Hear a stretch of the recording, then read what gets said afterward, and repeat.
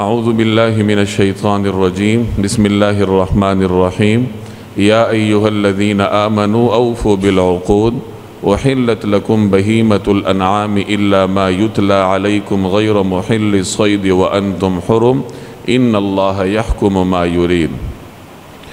ये सूरतुल की इब्तदाई आयत है सूरतुल ये मदनी सूरत है इसमें 120 आयत और 16 रुकू हैं इसका नाम मायदा है।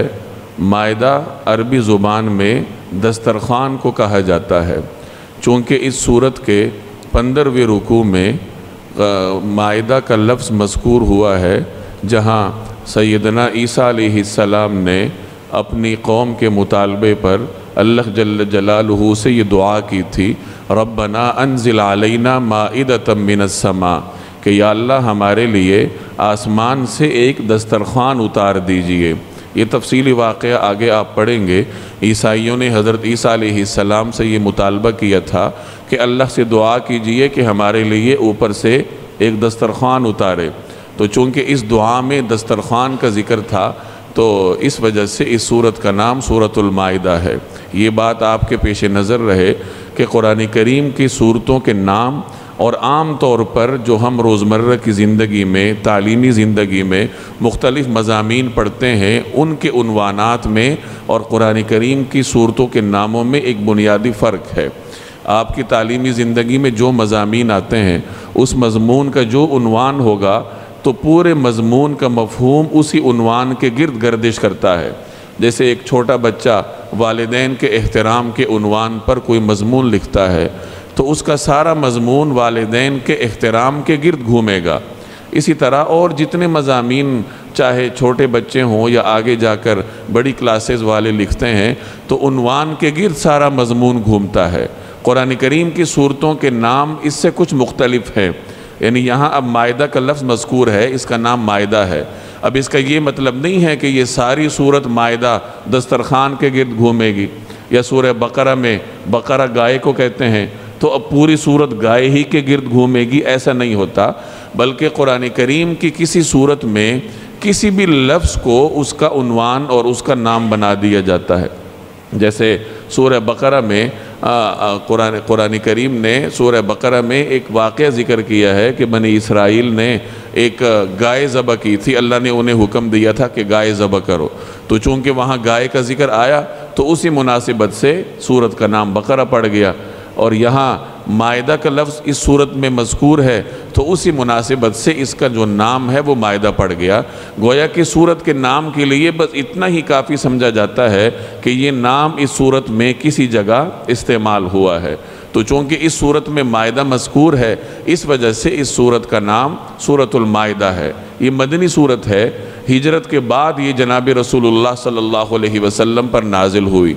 मुफसरीन फरमाते हैं कि इसके कुछ मजामी सुलह हुदैबिया के बाद नाजिल हुए और इसके कुछ मजामी फ़तेह मक्का के मौके पर नाजिल हुए और इसकी बाज़ आयात ऐसी भी हैं जो कि हजतुलवदा के मौके पर मैदान अरफात में जनाब रसूलुल्लाह सल्लल्लाहु अलैहि वसल्लम पर नाजिल हुई। ये सूरत एक ऐसे वक्त में नाजिल हुई कि जब मुसलमान हिजरत करके मदीना जा चुके थे और एक एतबार से इस्तरार हासिल कर चुके थे, अंदरूनी और बैरूनी तौर पर दुश्मनों से किसी हद तक छुटकारा हासिल कर चुके थे। अब मुसलमानों के सामने माशरे की तश्कील, उसकी तरवीज का एक मरहला दरपेश था। तो उसी मुनासिबत से अल्लाह तबारक व ताली ने इस सूरत में मुसलमानों को ऐसे अहकाम दिए जो उन्हें माशरे के सियाजी, सियासी और समाजी और दीगर मुख्तलिफ़ माशरती अमूर के बारे में रहनुमाई फ़राहम करें। सूर बकरा में मौजू सुखन आम तौर पर यहूद की तरफ़ है और आल इमरान में मौजू सुखन कुरान करीम का आम तौर पर ईसाइयों की तरफ़ है। और सूर निसा और सूर मायदा के मजामी कुछ मुख्तलिफ़ हैं। चुनाचे मुफसरीन फरमाते हैं कि सूर निसा और सूर मायदा में मौजू सुखन अरब के बाशिंदे थे। जो कुरान करीम के बरह रास्त मुखातब थे। चूँकि निसा और मायदा हिजरत के बाद ऐसे मौके पर नाजिल हुई थी, जब मुसलमान माशरे की तश्कील के मरहले से गुज़र रहे थे। माशरे की तश्कील दो तरीक़ों से होती है। या यूँ कह लीजिए कि एक तो इंसान को अपनी इनफरादी ज़िंदगी में कुछ कुछ तरबियत की ज़रूरत होती है।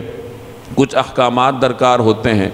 और दूसरे नंबर पर इंसानों को मजमू तौर पर माशरती तौर पर कुछ अहकाम दरकार होते हैं।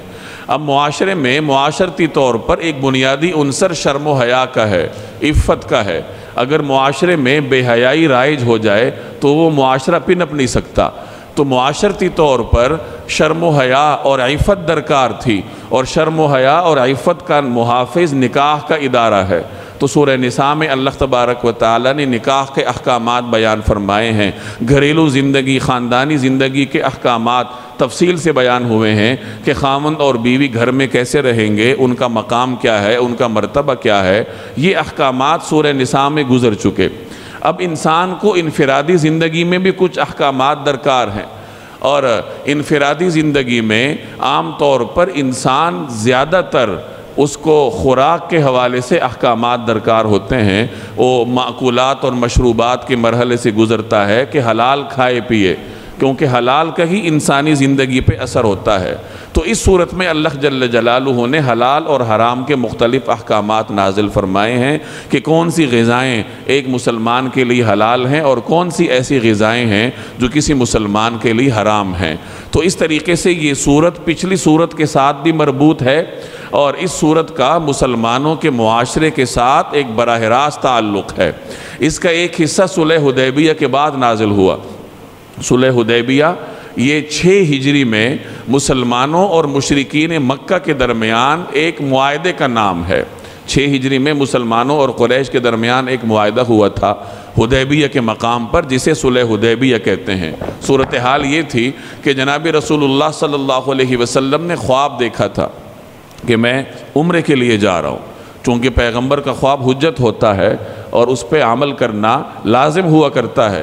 तो जनाब नबी करीम सल्लल्लाहु अलैहि वसल्लम सहाबा के नाम को लेकर उम्र के लिए तशरीफ़ ले गए। सहाबा को मक्का से जुदा हुए छः साल गुजर चुके थे। बैतुल्ला की महब्बत हर अरब के खून में रची बसी थी। और यहाँ ये सूरत हाल थी कि मुसलमान जब से मक्का से निकले थे छः साल हो चुके थे, उन्हें मक्का जाने का मौका नहीं मिला था। तो जब अचानक पता चला कि मक्का का सफ़र दरपेश है तो मुसलमान बड़े जोश व खरोश के साथ, जनाब रसूलुल्लाह सल्लल्लाहु अलैहि वसल्लम के साथ उम्र के सफ़र पर रवाना हुए। चूँकि जंग का इरादा नहीं था, उम्र का सफ़र था तो ज़्यादा असलहा साथ नहीं रखा गया, बल्कि वही असलहा जो अरब के माहौल में आम तौर पर सफ़र में साथ रखा जाता था। कि तलवार नियाम में होती थी, ये तो अरब के कल्चर का हिस्सा था। तो बस तलवार की हद तक ही मुसलमानों ने असलहा लेने पे इक्तफ़ा किया और इस तरीके से उम्र के सफ़र पर रवाना हुए कि मामूली दर्जे का असलहा है और हदी के जानवर हैं साथ जो उम्र के मौके पे उम्र करने वाला या हज करने वाला, हज के मौके पे ज़बह करता है, हरम की हदूद में जिसे हदी कहते हैं। तो ये जानवर साथ लेके रवाना हुए। कुरैश ने अपने तसब से मजबूर होकर मुसलमानों को रोकने का इरादा किया। हुदैबिया के मकाम पे जनाब नबी करीम सल्लल्लाहु वसल्लम ने पड़ाव डाला और वहाँ कुरैश के साथ गुफ्त शुनीत शुरू हुई। मुसलमानों की तरफ़ से भी कुछ नुमाइंदे गए, कुरैश की तरफ़ से भी कुछ नुमाइंदे आए। बिलाखिर इस बात पर सुलह हुई कि इस साल मुसलमान वापस जाएँगे। इस साल उम्र नहीं करेंगे। अगले साल मुसलमान आकर फिर उम्र करेंगे। और और भी इस माहे की कुछ शराइ थी, चूँकि वो बरह रास्त हमारे मौजू का हिस्सा नहीं है तो मैं उन तफसीत में नहीं जाता। तो बहरहाल, हदैबिया के मकाम पर क्रैश और मुसलमानों के दरमियान ये सुलह हुई। और मुसलमान वापस आ गए। फिर अगले साल सात हिजरी में उम्रतुल्क़ा के नाम से मुसलमानों ने जनाब नबी करीम सल्लल्लाहु अलैहि वसल्लम के साथ उम्र किया। तो छः हिजरी में जब सुलह हुदैबिया हो गई तो उसके बाद इस सूरत के कुछ मजामी जो थे, कुछ आयात नाजिल हुई। सुलह हुदैबिया के बाद मुसलमान क़ुरैश से मामून हो गए थे। क़ुरैश एक बड़ा ख़तरा था मुसलमानों के लिए। हर वक्त ये ख़तरा लगा रहता था कि क़ुरैश एक बड़ी ताकत है, वो कहीं मदीना पे हमला आवर ना हो जाए। जब क़ुरैश के साथ सुलह हो गई तो मुसलमान एक बड़ी ताकत के हमले से महफूज हो गए और अब वो मुतमिन होकर मदीना मुनवरा के अंदर अपने माशरे को मज़बूत करने पर तवज्जो दे सकते थे। तो इस इस मरहले से गुज़रने के बाद अल्लाह तबारक व ताली ने फिर इस सूरत के कुछ मजामी को नाजिल फरमाया। फरमाया इसी तरह इसके कुछ मजामी फ़तेह मक्का के मौके पर नाजिल हुए और इसके कुछ आयात एन मैदान अरफात में नाजिल हुई। चुनाचे इसकी ये जो इब्तदाई आयात हैं, ये मैदान अरफात में नाजिल हुई थी जब जनाब नबी करीम अलैहि वसल्लम मस्जिद नमरा में ज़ोहर और असर की नमाज़ों से फारग होकर जबल रहमत के सामने वकूफ़ फरमा रहे थे तो उस वक्त ये आयात नाजिल हुई। रिवायात में आता है कि जब इन आयात का नज़ुल शुरू हुआ तो जनाब रसूलुल्लाह सल्लल्लाहु अलैहि वसल्लम अपनी ऊँटनी पर सवार थे। ये बड़ी ताकतवर ऊँटनी थी। लेकिन कुरान करीम के नाजिल होने का मरहला इतना बोझ वाला होता था कि आसबा नामी ये ताकतवर ऊँटनी भी इसका बोझ न सहार सकी। रिवायात में आता है कि उसकी टांगें लड़खनाने लगीं और बिलाखिर जनाब रसूलुल्लाह सल्लल्लाहु अलैहि वसल्लम फिर उस पर से उतर आए। और उस मौके पे ये अगली आने वाली आयत जो इस सूरत की तीसरी आयत है, वो नाजिल हुई अलयम अकमल तो लकुम दीनकुम। कि आज मैंने तुम्हारे लिए तुम्हारा दीन मुकम्मल कर दिया। तो इस तरीके से इस सूरत में एक तरफ़ आपको मुआशरती मसाइल मिलेंगे, जिसमें मुसलमानों को अपने मुआशरे को मज़बूत रखने के लिए मुख्तलिफ़ हिदायत दी गई हैं। इसी तरीके से और भी मुख्तलिफ़ अहकाम इस सूरत का हिस्सा हैं। वज़ू का हुक्म इसी सूरत में है तयम का सूरत इसी सूरत में है। इसी तरह शराब और जुए की हरमत का ऐलान इसी सूरत का हिस्सा है। दरमियान में जगह जगह ईसाइयों से भी खिताब है, अहल किताब से भी खिताब है। तो ये इस सूरत का एक इजमाली खाका था। आउज़बिल्लिमिनशैतानिर्रजीम बिस्मिल्लाहिर्रहमानिर्रहीम या अय्युहल्लज़ीन आमनु औफ़ु बिलउक़ूद वहिल्लत लकुम बहीमतुलनाम इल्ला युतला अलैकुम गैर मुहिल सैद व अंतुम हुरुम इन अल्लाह यहकुम मा युरीद या अय्युहल्लदीन आमनु ए ईमान वालो औफू बिलउक़ूद मुआहदात को पूरा करो वहिल्लत लकुम बहीमतुलनाम तुम्हारे लिए वो चौपाए हलाल कर दिए गए हैं जो मवेशियों में दाखिल हों इल्ला मायुतला अलैकुम सिवाय उनके जिनके बारे में तुम्हें पढ़कर सुनाया जाएगा, गैर महिल सईदी व अन तुम हरम बशरते कि जब तुम एहराम की हालत में हो, उस वक्त शिकार को हलाल न समझो। इन अल्लाह यहकुम मायूरीद अल्लाह जिस चीज़ का इरादा करता है, उसका हुक्म देता है। ये सूरह मायदा की पहली आयत है। इस सूरत का तारुफ गुज्त दर्स में आ चुका था। इस रुकू में अल्लाह जल्ल जलालुहु ने इब्तदा में मुसलमानों को एक जबता तालीम फरमाया कि माहदात की पासदारी किया करो।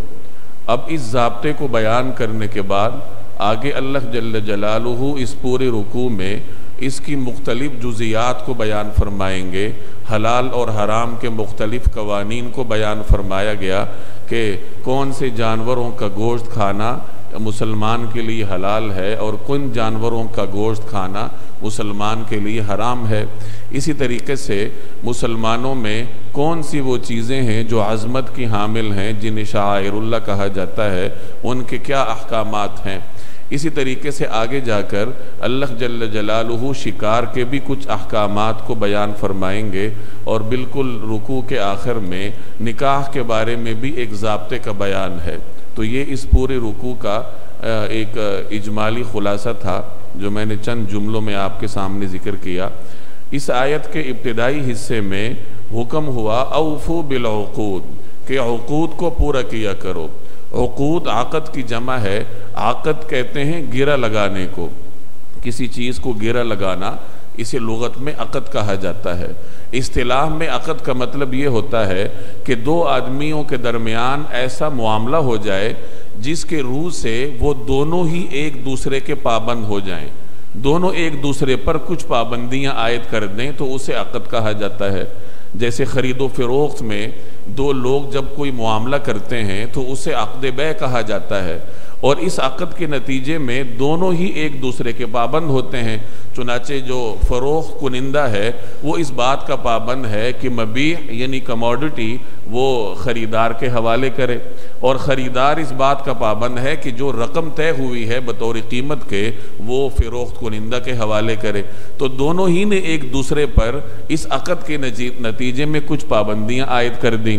इसी तरीके से निकाह का मामला होता है, ये भी एक अकद है। लड़के और लड़की के दरमियान निकाह का अकद होता है, जिसके नतीजे में दोनों ही एक दूसरे को पाबंद करते हैं।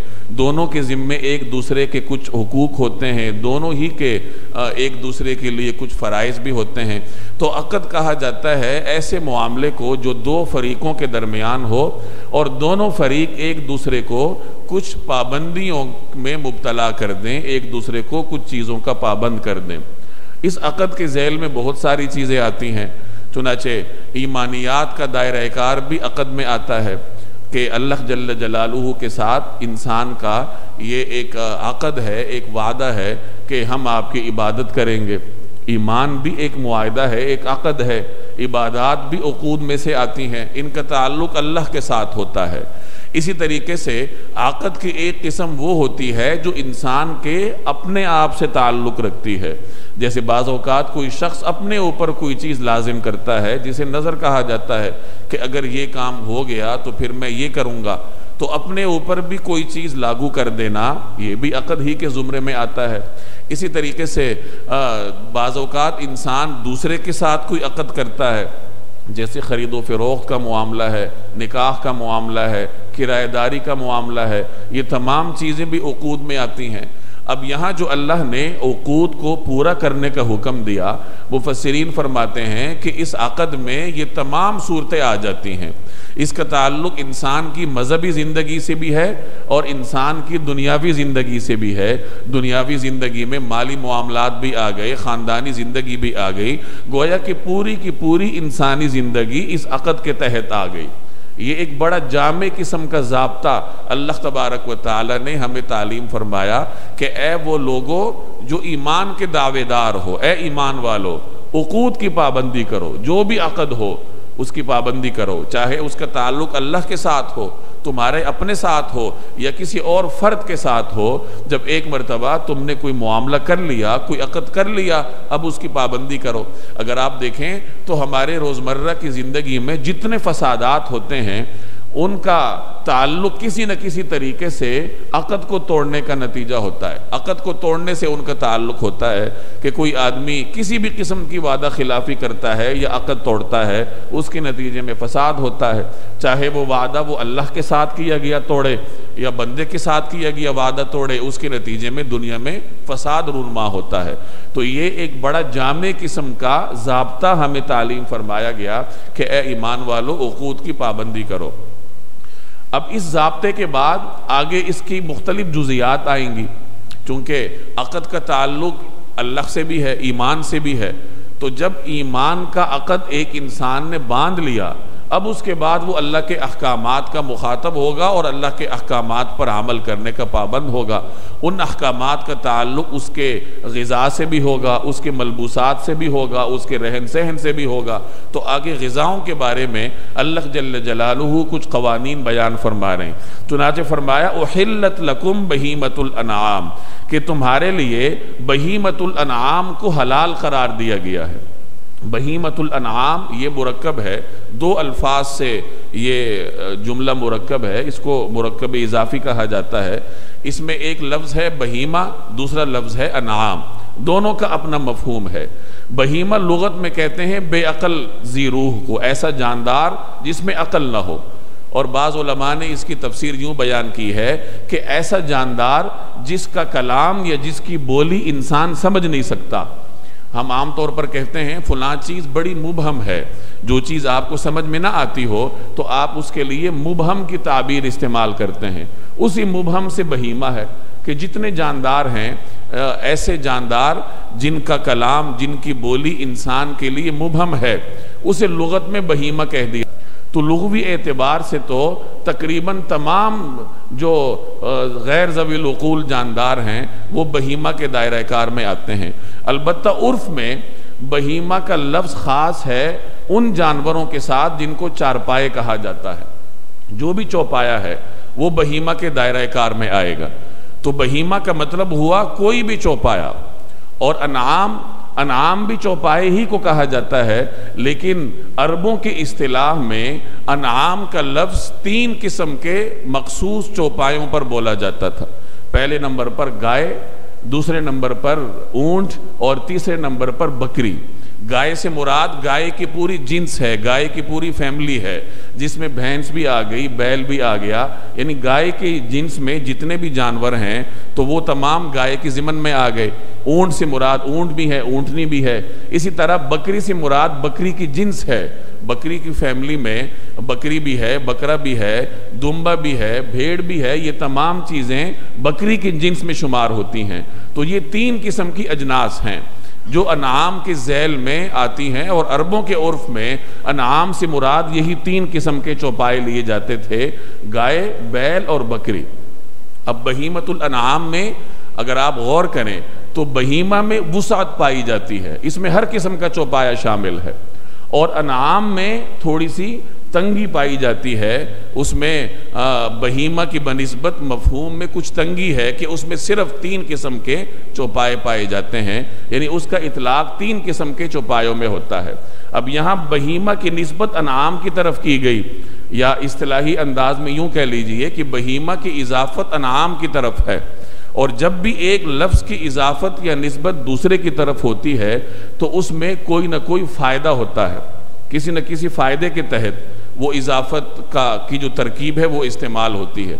तो फरमाते हैं कि यहाँ इजाफत या नस्बत तशबी का फ़ायदा दे रही है। यानी वो बहीमे जो अनाम जैसे हों, या यूँ कह लीजिए कि वो चौपाए जो कि अनाम जैसे हों। अब अनाम से मुराद गाय, बैल और बकरी हैं। इनमें जो बुनियादी खसूसियत है वो ये है कि ये दरिंदे नहीं हैं। इनमें वो दांत नहीं हैं जिन्हें कुचलियाँ कहा जाता है, जिनके ज़रिए कोई दरिंदा शिकार करता है, चीर फाड़ करता है। जानवर के मुँह में या इंसान के मुँह में भी आँख के नीचे जो दोनों आँखों के बिल्कुल सीध में जो दो दांत होते हैं, जो नोकीले होते हैं, उन्हें अनियाब कहा जाता है। और यही अनियाब जानवरों में, दरिंदों में ज़रा सख्त नौीयत के होते हैं, वो इनके ज़रिए चीर फाड़ करते हैं, शिकार करते हैं।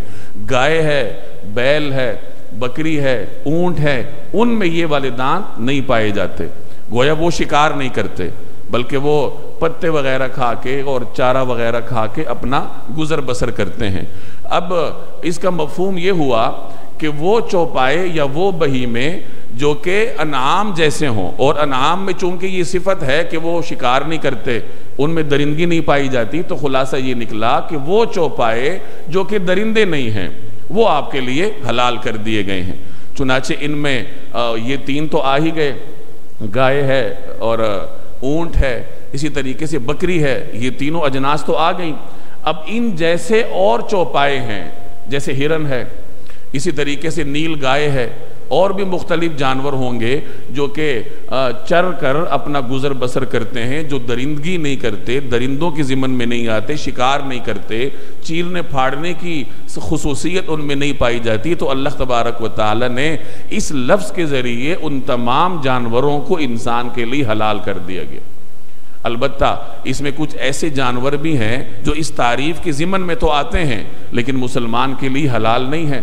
जैसे गदा है, खच्चर है ये भी बहीमतुल अनाम ही में आते हैं। इनमें भी वो तमाम मफहम पाया जाता है जो बहीमतुल अनाम का होता है, कि ये भी चीरने फाड़ने की सलाहियत नहीं रखते। ये भी चर फिर के अपना गुजारा करते हैं जिस तरीके से गाय चरती है, गधा भी चरता है। लेकिन इनका गोश्त इंसान के लिए हलाल नहीं है। क्यों? क्योंकि इनके गोश्त को इंसान के लिए जनाब रसूलुल्लाह सल्लल्लाहु अलैहि वसल्लम ने अपने फरमान के ज़रिए हराम करार दिया है। तो गोया के गाय, बैल और ऊँट की तरह के चौपाए मुसलमान के लिए हलाल हैं बशर्ते के। जनाब नबी करीम सल्लल्लाहु अलैहि वसल्लम के किसी फरमान ने उनको मुसलमान के लिए हराम न किया हो। घोड़ा है। घोड़ा भी उसूल के एतबार से हलाल है। लेकिन फ़ुकहा इसको मकरू करार देते हैं क्योंकि ये आलय जिहाद है। अगर घोड़े को ज़बह करके खाना शुरू कर दिया जाए तो मुसलमान मुजाहिदीन को मुख्तलिफ़ दुशारियाँ पेश आ सकती हैं। जिहाद चूँकि एक अहम फरीज़ा है तो उस फरीज़े में ये मुआविन है। इस वजह से आ, इसके लिए ये एक इजाफी हुक्म है कि इसका गोश्त खाना नापसंदीदा है हराम फिर भी नहीं है। बहरहाल इसके इस मखसूस हैसियत की वजह से आ, इसको मुकम्मल तौर पर हलाल जानवरों की फहरिस्त से निकाला गया। तो फरमाया, उहिल्लत लकुम बहीमतुल अनाम। तुम्हारे लिए वो चौपाए हलाल कर दिए गए जो मवेशियों में दाखिल हों या उनके मुशाबे हों। अब ये मुशाबहत का लफ्ज़ हम तर्जुमे में शामिल कर रहे हैं इजाफत की वजह से कि बहीमा की नस्बत या इजाफत अनाम की तरफ़ है। और मैंने अर्ज़ किया कि ये नस्बत मुशाबहत के लिए है तशबी के लिए है। तो जब आप इसका तर्जुमा करेंगे तो आप यूँ कहेंगे कि वो बहीमे हलाल हैं जो अनाम जैसे हों। या वो चौपाए हलाल हैं जो कि मवेशियों जैसे हों। इल्ला मायुतला अलैकुम, सिवाय उनके जिनके बारे में तुम्हें पढ़कर सुनाया जाएगा। अब बहीमतुल अनाम हलाल हैं। अलबत् इनसे कुछ मुस्तनायात हैं। पहला इस्तना ये है कि वो चीज़ें जो आगे पढ़कर सुनाई जा रही हैं हैं वो भी बहीमतुल अनाम में से, लेकिन वो तुम्हारे लिए हलाल नहीं है। चुनाची अगली आयत में उसकी तफसील आएगी कि बहीमतुल अनाम की कौन कौन सी सूरतें मुसलमान के लिए नाजायज़ हैं। ये पहला इस्तना है। दूसरा इस्तना है, गैर महल सईद व अनतुम हरम। गैर महल सईद बशरते कि तुम शिकार को हलाल समझने वाले ना हो। सईद कहते हैं शिकार को। और मुहिल का मतलब हलाल कुनिंदा, हलाल समझने वाला। यानी तुम शिकार को हलाल समझने वाले ना हो वह अन तुम हरम, जबकि तुम हालत एहराम में हो। वैसे तो बहीमतुल अनाम इंसान के लिए, मुसलमान के लिए हलाल हैं। उनको ज़बा करना भी हलाल है, और उनका शिकार करना भी हलाल है। यानी जो बहीमतुल अनाम में से वहशी हों जैसे नील गाय है, हिरन है वगैरह, ये वहशी जानवर हैं। ये पालतू आम तौर पे नहीं होते तो इनका शिकार करना पड़ता है। शिकार हलाल है मुसलमान के लिए इन जानवरों का। लेकिन हालत एहराम में इन जानवरों का शिकार करना मुसलमान के लिए ममनू है। मैंने पिछले दर्स में अर्ज़ किया था कि ये सूरत चूँकि इसके कुछ हिस्से सुलह हुदैबिया के सफ़र में नाजिल हुए थे और सुलह हुदैबिया में मुसलमान उम्र के लिए जा रहे थे। तो इसमें बाज़ ऐसे अहकाम भी आएँगे जिनका ताल्लुक उम्र से है या उम्र के सफ़र से है। हज और उम्र के अहकाम जैसे हालत एहराम में इंसान बर्री शिकार नहीं कर सकता। ज़मीन पर पाए जाने वाले जानवरों का शिकार नहीं कर सकता, ज़बह कर सकता है। एक आदमी हालत एहराम में कोई जानवर ज़बह करना चाहे तो कर सकता है, लेकिन शिकार नहीं कर सकता। वहशी जानवरों का शिकार हालत एहराम में ममनू है और यहाँ उसका इस्तना है। तो खुलासा ये निकला कि बहीमतुल अनाम, ये चौपाए जो कि मवेशियों जैसे हैं, वो मुसलमान के लिए हलाल हैं। अलबत् उससे दो इस्तेसनात हैं जो इस आयत में है। पहला इस्तना जो कि अगली आयत में आएगा, जो तुम्हें पढ़ के सुनाया जाएगा और पढ़ के अगली आयत में सुनाया जाएगा। और दूसरा इस्तना है कि शिकार भी हालत एहराम में तुम्हारे लिए जायज़ नहीं है इन जानवरों का। और एक इस्तना मैंने पहले अर्ज़ किया कि हदीस की रूह से भी जिन बहीमतुल अनाम को हराम करार दिया जाए तो उनके गोश्त का इस्तेमाल भी मुसलमान के लिए जायज़ नहीं होता। इन अल्लाह युरीद। अल्लाह जिस चीज़ का इरादा करता है, उसका हुक्म देता है। युरीद का मतलब इरादा करना, यहकुम हुक्म देना। अल्लाह हुक्म देता है जिसका इरादा करता है।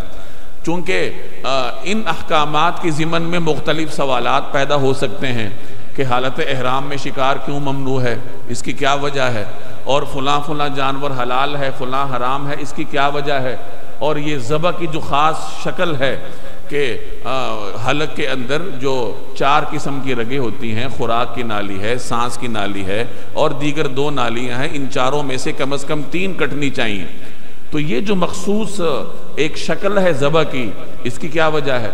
तो इस किस्म के मुख्तलिफ़ सवाल इंसान के दिमाग में उठ सकते थे तो अल्लाह जल्ल जलालू ने इन सवाल का एक ही जवाब दे दिया कि देखो जी, अल्लाह के अहकाम हैं, ये सारी चीज़ें अल्लाह के मिल्क हैं, और अल्लाह ताला जिस चीज़ का इरादा करता है, उसका हुक्म देता है। लोग ये भी सवाल करते फिरते हैं कि जानवर को ज़बह करने से तकलीफ़ होती है तो उसको तकलीफ़ क्यों दी जाती है?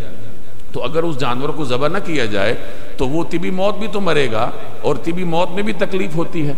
तो बहरहाल अगर किसी चीज़ को अल्लाह ने हलाल करार दिया है, उसका ज़बह करना अल्लाह ने जायज़ करार दिया है तो इसके इसबाब और इलल में पड़े बगैर अगर एक जुमले में भी कहा जाए कि वो अल्लाह की मिल्क है और अल्लाह ने अपनी मिल्क में इस तरह का तसरुफ इंसान के लिए जायज़ कर दिया है। अब किसी बंदे को क्या हक है कि वो सवाल करे, जानवरों का मालिक अल्लाह है और उसने इजाज़त दी थी मुसलमान को कि इस तरीके से जबा करके तुम इनको खा सकते हो। तो यहाँ आयत के इस आखिरी हिस्से में अल्लाह तबारक व ताली ने इन तमाम सवालात का एक ही जवाब दे दिया कि अल्लाह जिस चीज़ का इरादा करता है, वो हुक्म देता है, वो मालिकुल मुल्क है, वो मालिक कुल है, वो जो भी हुक्म देना चाहे तुम तो उसके हुक्म पर कोई सवाल नहीं कर सकते। यादीन आमन ला तो हिल्लु शाहिर अल्लाह वल शहर हराम वल हदिय वल कलाइद वल आमीन अलबैत हराम यबतगून फ़ज़लम रब्बिहिम व रिज़वाना व इज़ा हललतुम फस्तादु वला यजरिमन्नकुम शनआन कौमिन अन सद्दूकुम अनिल मस्जिदिल हराम अन तातदु व तआवनु अलल बिर्रि वत तक़वा वला तआवनु अलल इस्मि वल उदवान वत्तकुल्लाह इन्नल्लाह शदीदुल इक़ाब यादीन आमन ए ईमान वालो ला तो हिल्लु शाह शाह की बेहरमती न करो। अल्लाह की निशानियों की बेहरमती मत करो। वल शहर हराम, और न हरमत वाले महीने की, वलल हदिया, और न उन जानवरों की जो कुर्बानी के लिए हरम ले जाए जाएँ। वलल कलाइद, और न उन पट्टों की जो उनके गले में पड़े हों। वला आमीन अलबैत हराम, और न उन लोगों की जो बैतुल हराम की तरफ़ जा रहे हों। यबतगून फ़ज़लम रबिम व रिजवाना, अल्लाह और उस अल्लाह जल्ल जलालहू का फ़ज़ल और उसकी रजामंदी हासिल करने के लिए। और न उन लोगों की जो अल्लाह का फजल और उसकी रजामंदी हासिल करने की खातिर बैत हराम का इरादा लेकर जा रहे हों। वहीदा हलल तुम और जब तुम एहराम खोल दो फस्ता दो तो शिकार कर सकते हो। वला यजरीमन कुम शनान कौमिन अन सद्दूकुम आनिल मस्जिद हरामी अंतातदू और किसी कौम के साथ तुम्हारी ये दुश्मनी कि उन्होंने तुम्हें मस्जिद हराम से रोका था, तुम्हें इस बात पर आमादा न करे कि तुम ज्यादती करने लगो। व तआवन बिर व तकवा, और नेकी और तकवा के कामों में एक दूसरे के साथ ताउन करो। वला तावन आलल इसम वलवान और गुनाह और जुल्म में ताउन न करो। व तकुल्ला और अल्लाह से डरते रहो। इन अल्लाह शदीदुल्क़ाब बेशक अल्लाह का अजाब बड़ा सख्त है। अब इस आयत में भी आ, हलाल और हराम ही के तफसीलात मजकूर हैं। यानी पिछली आयत में अल्लाह तबारक व ताली ने अकूद में से गज़ाओं में हलाल और हराम को बयान फरमाया। अब इस आयत में आगे उसी की तफसील है। चूँकि ये सुलह हुदैबिया के मौके पर आयात नाजिल हुई थी और सुलह हुदैबिया के मौके पर मुशरकिन मक्का ने मुसलमानों को बैतुल्ला के उम्र से रोक दिया था और कहा था कि अगले साल आओ। तो चूँकि इसमें एक अंदेशा था कि कहीं कुछ मुसलमान जवाबी तौर पर मुशरकिन को या उनके हामियों को उम्र के सफ़र से न रोक दें तो यहाँ मुसलमानों को इस अंदेशे की वजह से ये तालीम दी जा रही है कि देखो, अगर उन्होंने रोका था तो वो उनका फेल था। मुसलमान के जो आला अखलाकी अकदार हैं, उनका तकाजा ये है कि मुसलमान इस किस्म का अमल न करें। चुनाचे फरमाया ईमान वालो ला तो हिल्लू शाह अल्लाह। अल्लाह की निशानियों की बेहरमती न करो। शायर शायरा की जमा है। ये लगत में निशानी को कहा जाता है। कोई भी कौम हो, कोई भी निज़ाम हो, या कोई भी अकीदा हो, उसकी कुछ इम्तियाजी अलामत होती हैं। और हर निज़ाम और हर अकीदे का, के हामिलीन ये चाहते हैं कि हमारी इन इम्तियाजी अलामत की तज़ीम की जाए। जैसे आज आजकल मुख्तलिफ़ रियासतों के कौमी झंडे होते हैं, कौमी तराने होते हैं। हर रियासत ये चाहती है कि मेरे झंडे की ताज़ीम की जाए, उसकी बेहरमती न की जाए, और ये रियासत को हक है कि वो अपनी कौमी अलामत की ताज़ीम करवाए, अपनों से भी और गैरों से भी। इसी तरीके से हर मज़हब वालों के यहाँ कुछ ऐसी इम्तियाज़ात हैं जिनकी उनके यहाँ ताज़ीम है, और वो चाहते हैं कि लोग उनकी ताज़ीम करें। जैसे ईसाइयों के यहाँ गिरजा घर है कुर्बान गाह है, सलीब है, ये उनके इम्तियाजी अलामत हैं। या शायर कह दीजिए, हिंदुओं के यहाँ जन्नार है, मन, मंदिर है सिखों के यहाँ कड़ा होता है कृपान होती है और मुख्तलिफ़ उनकी इम्तियाजी अलामत होती हैं, जो मजहबी तौर पर उनके यहाँ एक इम्तियाजी अलामत समझी जाती है। इसी तरीके से शरीयत इस्लामिया ने भी अपने लिए कुछ चीज़ों को बतौर शायर के मंतखब किया, बतौर शायर के मुकर किया। चुनाचे जो बुनियादी शायर इस्लाम हैं, उनमें तोहीद है, कलम तोहीद है, और जनाब रसूलुल्लाह सल्लल्लाहु अलैहि वसल्लम की ज़ात अकदस है, नमाज़ है, ये बैतुल्ला है, ये चार शायर इस्लाम में बुनियादी हैसियत रखती हैं। इसके अलावा अजान है और सफ़ा और मरवा है, जिनके बारे में कुरान करीम में इरशाद है। इन सफ़ा वलमरवतम इन शाह कि सफ़ा और मरवा अल्लाह के शायर में से है। यानी ये अल्लाह जल जलालू की मबूदियत की अलामत में से है। मिना है, अरफात है ये तमाम चीज़ें शरीयत इस्लामिया में शायर की हैसियत रखती हैं और इन शायर की ताज़ीम करना ये हर मुसलमान का बुनियादी फ़र्ज़ है कि वो इस्लाम की इन बुनियादी अलामत की ताज़ीम करे। तो ये शायर इस्लाम हैं जिनका यह हुक्म दिया गया कि अल्लाह की निशानियों की बेहरमती न करो। यानी आगे भी इसकी तफसील आएगी कि अगर कोई आदमी उम्र के लिए जा रहा है, हज के लिए जा रहा है, चाहे वो मुशरक है मुशरकिन में भी इस्लाम से पहले दीन इब्राहिमी की बची खुची तालीमत की शक्ल में हज और उम्र की इबादत राइज थी। उन्होंने उसको बिगाड़ रखा था, लेकिन बहरहाल हज और उम्र के नाम पर वो बैतुल्ला जाया करते थे। अब अगर से वो मुशरक हैं, लेकिन वो जा बैतुल्ला रहे इसी तरीके से सफ़ा और मरवा है, बैतुल्ला की जितनी मुख्तलिफ़ चीज़ें हैं, ये तमाम मुसलमानों के लिए मुक़दसात की हैसियत रखती हैं। तो सुलह हुदैबिया के बाद मुसलमानों को ये तालीम दी गई कि ये शायर इस्लाम में से है। लिहाजा कहीं ऐसा ना हो कि तुम लोग दुश्मनी के गुस्से में आके इन शायर इस्लाम की, के अदब में कोई कमी कर बैठो। तो फरमाया कि अल्लाह की निशानियों की बेहरमती न करो। आगे, वल शहर अल हराम और न हुरमत वाले महीनों की। महीने चार हैं महीने बारह हैं, लेकिन चार ऐसे महीने हैं जिन्हें हुरमत वाले महीने कहा जाता है। ये दीनी इब्राहिमी का उसूल था कि अल्लाह जल जलालू ने मिलत इब्राहिमी वालों के लिए इन चार महीनों को मुख्तरम करार दिया था। उनमें से रजब है, ज़िकाद है, जिलहज है और मुहर्रम है। ये चार ऐसे महीने हैं जिन्हें हुरमत वाले महीने कहा जाता था। और इनका ताल्लुक भी बुनियादी तौर पर हज से था कि इनमें से कुछ महीनों में हज होता था और किसी महीने में हज के लिए मुसाफिर जाते थे और किसी महीने में वापस आते थे। तो चूँकि इन महीनों का ताल्लुक हज के सफ़र से था तो अल्लाह तबारक व ने इस हिकमत के और दीगर अपनी हिकमतों के पेश नज़र इन महीनों को हरमत वाले महीने करार दिया। चुनाचे इनमें लड़ाई झगड़े का आगाज़ करना अरबों में, ज़माने जाहिलियत में भी मायूब समझा जाता था। मुसलमानों में भी अल्लाह ने इस रिवायत को बरकरार रखा और इन चार महीनों को हुरमत वाले महीने करार दिया और यहाँ फरमाया कि हुरमत वाले महीनों की बेहरमती न करो। वलल हदी हदी कहते हैं उस जानवर को जो कि हज करने वाला अपने साथ लेके जाता है और बतौर शुक्राने के उसने हदूद हरम में कुर्बान करना होता है। जो आम तौर पे कुर्बानी की जाती है दस जिल हज को। सुन्नत इब्राहिमी के तहत जो कुर्बानी होती है, उसको उजहिया कहा जाता है। उस जानवर को भी उजहिया कहते हैं। और जो कुर्बानी हाजी करता है, दम शुक्र के तौर पे या हज के मौके पे, जो हज का हिस्सा है, उसको हदी कहा जाता है। तो फरमाया कि जो हदी है, यानी वो जानवर जो कुर्बानी के लिए हरम ले जाए जा रहे, उनकी भी ताज़ीम करो। उनकी भी बेहरमती न करो, क्योंकि उन जानवरों की नस्बत हरम के साथ है। वलल कलाइद कलाइद कलादे की जमा है। कलादा हार को कहा जाता है। उस ज़माने में ये आम रिवाज था कि जब कुछ जानवरों को हाजी अपने साथ हरम लेके जाता था, हज के मौके पे कुर्बानी के लिए तो बतौर अलामत के उस जानवर के गले में कोई पट्टा डाल दिया जाता था। ये एक किस्म की अलामत थी कि ये जानवर हरम जा रहा है, ये हरम का मुसाफिर है। चुनाचे उस जानवर को लोग नुकसान पहुँचाने से गुरेज करते थे। वो एक मुक़दस जानवर समझा जाता था। और अलामत की मुख्तलिफ़ शक्लें थी। बाज़ात उसके जिसम पे हल्का सा ज़ख़म लगा के खून मल दिया जाता था। आम तौर पे चूँकि हार डालते थे तो यहाँ अल्लाह ने हार का ज़िक्र किया कि वलल कलाइद, के न उन पट्टों की जो उनके गले में पड़े हैं। बाज़ फरमाते हैं कि कलाइद से मुराद ज़ातुल कलाइद हैं।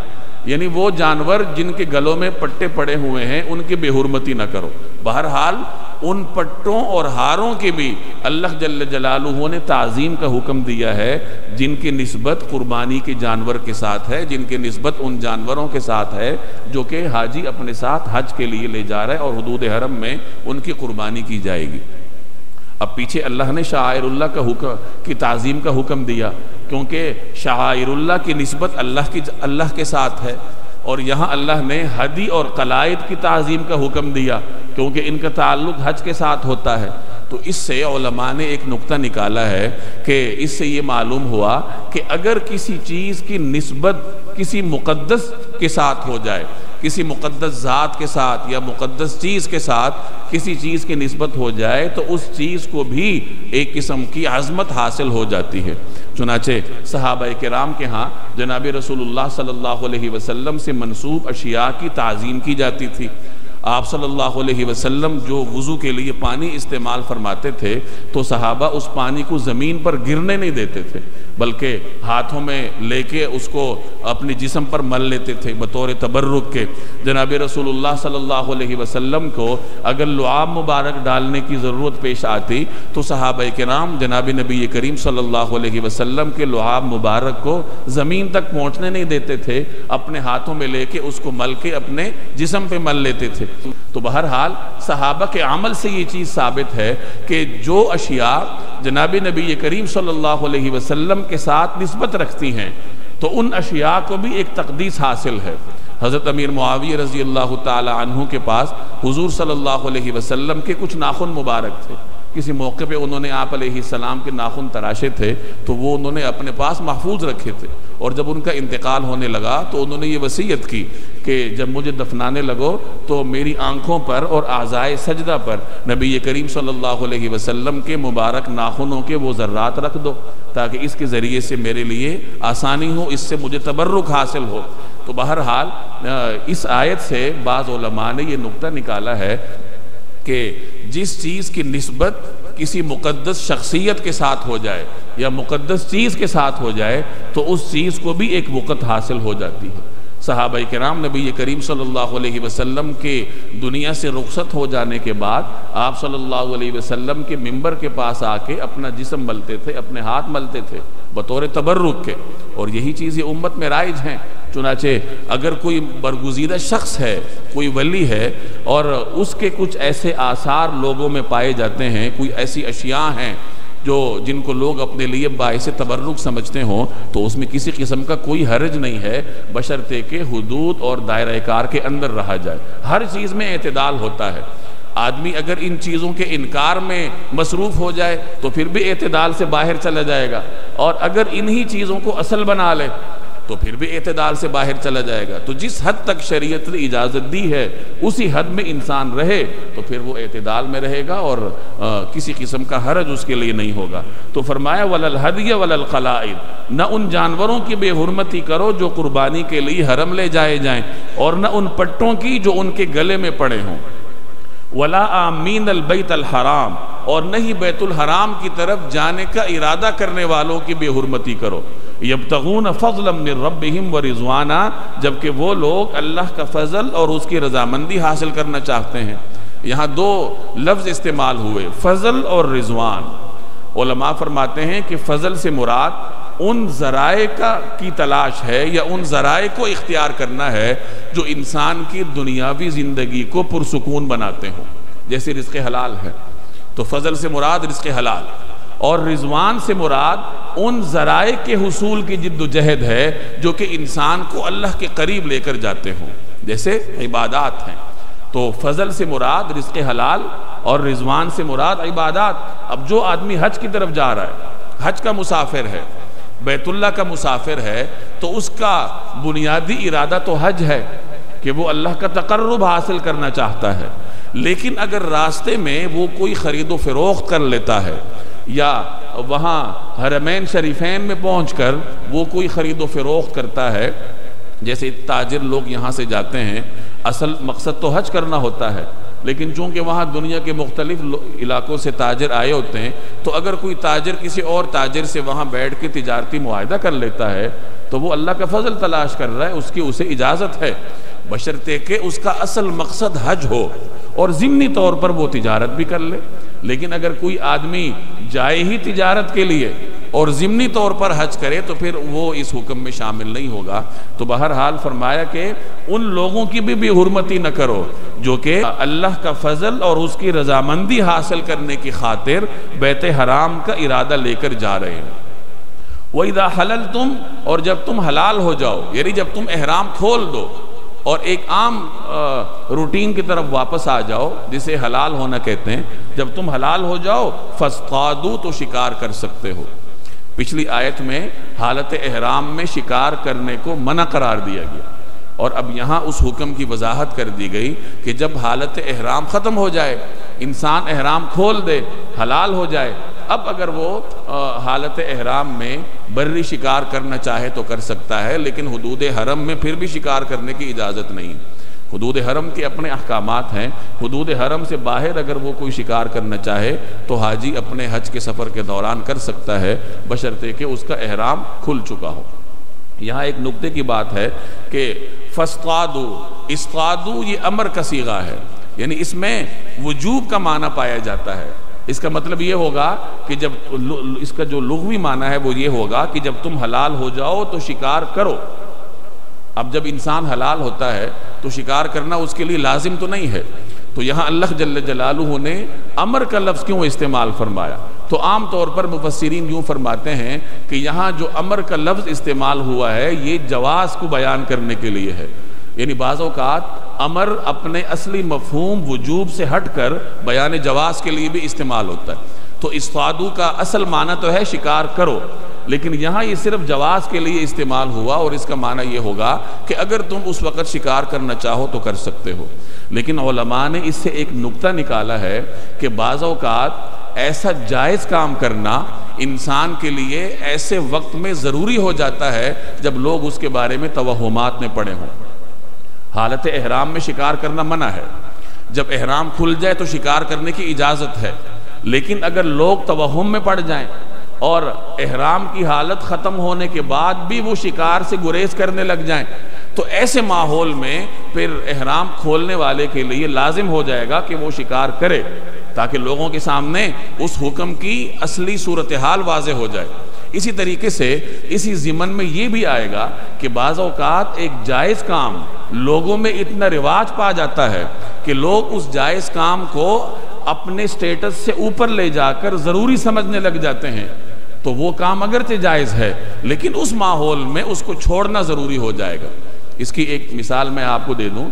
यकम मुहर्रम हराम को अगर कोई शख्स 113 मरतबा बिस्मिल्लाह लिख के अपने पास रखे तो कहा यह जाता है कि सारा साल अल्लाह ताला उसे मुख्तलिफ़ किस्म के हवादिस से महफूज रखता है। अब ये कोई शरीयत का हुक्म नहीं है न ये किसी नस से साबित है। ये बाज़ बुज़ुर्गों के तजर्बात का नचोड़ होगा। चुनाचे मुफ्ती शफ़ी उस्मानी रही ने जवाहरफ़ा में ये आ, मामूल लिखा है कि अगर कोई आदमी इस पर अमल करे तो अल्लाह तबारक व ताली सारा साल उसे हवादे से महफूज रखते हैं। लेकिन पिछले चंद सालों में ये चीज़ इतनी आम हो गई थी और यकम मुहर्रम से पहले बाकायदा इसकी तशहर की जाती थी। चुनाचे उन्हीं मुफ्ती शफ़ी रही के कायम करदा दारूम कराची ने इस साल ये बाकायदा फतवा दिया था कि ये एक जायज़ काम है, लेकिन लोगों में इसकी इतनी तशहर होती जा रही है कि आगे जाकर इसको लाजिम समझ लिया जाएगा। लिहाजा इस जायज़ काम को इस माहौल में छोड़ना बेहतर है। तो ये शरीयत के हदूद हैं। तो फरमाया कि जब तुम एहराम खोल दो तो शिकार कर सकते हो। वला यजरीमन कुम शनान कौम। शनान दुश्मनी को कहते हैं कि वला यजरीमन नकुम तुम्हें आमादा न करे। शनान कौम, किसी कौम की दुश्मनी। और उस कौम की दुश्मनी क्या है? अन सद्दूकुम आनिल मस्जिद हराम, कि उन्होंने तुम्हें मस्जिद हराम से रोका था। तो वो एक दुश्मनी है जो तुम्हारे दिल में मौजूद है, कि उन्होंने तुम्हें मस्जिद हराम से रोका था। तो उनकी ये दुश्मनी तुम्हें इस बात पे आमादा न करे। अन तातदू, कि तुम ज़्यादा करने लगो। ये शरीयत कुरान करीम मुसलमान को आला अखलाकी अकदार सिखा रहा है कि दुश्मन के साथ भी इंसाफ करो। बेइंसाफ़ी करने की एक मुसलमान को किसी भी सूरत में इजाज़त नहीं है। दुश्मन के साथ भी जुल्म करने की इजाज़त नहीं है। चुनाचे फरमाया कि उन लोगों ने तुम्हें बैतुल हराम से रोक दिया, तुम्हें उम्र नहीं करने दिया। अब तुम्हारे दिल को एक ठेस पहुँची है, लेकिन ये चीज़ तुम्हें इस बात पर आमादा न करे कि तुम आगे बढ़कर ज्यादती करो। और वो ज़्यादा क्या होगी कि तुम भी उनको या उनके हामियों को बैतुल्ला जाने से रोक दो। बाद मुफसरीन ने लिखा है कि कुछ ऐसे काफ़िले थे जो उम्र के लिए जा रहे थे या बैतुल्ला के सफ़र पर थे। तो कुछ साहब के नाम के दिलों में ये बात आई कि चूँकि इन्होंने हमें रोका था, अब हम इनको रोकते हैं। तो शरीयत ने उन्हें ये अखलाकी अकदार सिखाई, ये तालीम दी कि दुश्मन के साथ भी इंसाफ होता है। ये अगरचे मुशरक हैं, लेकिन बहरहाल बैतुल्ला की सफ़र के इरादे से जा रहे हैं। लिहाजा इनके शिरक को ना देखा जाए, बल्कि इनकी उस नीयत को देखा जाए जिस पर अमल करने के लिए ये जा रहे हैं। इनको रोकने की तुम्हें इजाज़त नहीं है। तो ये एक बहुत बड़ी तालीम है जो मुसलमानों को दी गई है कि दुश्मन के साथ भी जुल्म न करो, दुश्मन के साथ भी इंसाफ से काम लो। व तावन अलबिर व तकवा बिर नेकी को कहते हैं। तकवा तकवा को कहा जाता है, अल्लाह का खौफ दिल में रखना। तावन तावन को कहा जाता है। यानी बिर और तकवा के मामलात में एक दूसरे के साथ ताउन करो। अब बिर लगत में नेकी को कहा जाता है, लेकिन इसका मफहूम बड़ा वसी है। जिसे अल्लाह ताला ने सूर्य बकरा में बयान फरमाया वलाकिन मन आमन बिल्लाहि वल यौमिल आखिर, वल मलाइकति वल किताबि वन नबिय्यीन व आतल माल अला हुब्बिहि कुर्बा वल यतामा वल मसाकीन व मन सबील व साइलिन व फिर रिकाब, व अकाम सलात व आत ज़का वल मुफून बिआहदिहिम इदा तो यहाँ आयात के तसलसल में अल्लाह जल जल, बिर की मुख्तलिफ़ शक्लों को बयान फरमाया। यानी यहाँ अबवाबुल बिर का बयान है कि बिर किसको कहते हैं? कि तुम ईमान लाओ अल्लाह पे, जनाब रसूलुल्लाह सल्लल्लाहु अलैहि वसल्लम पे, ये अबवाबुल बिर में से है।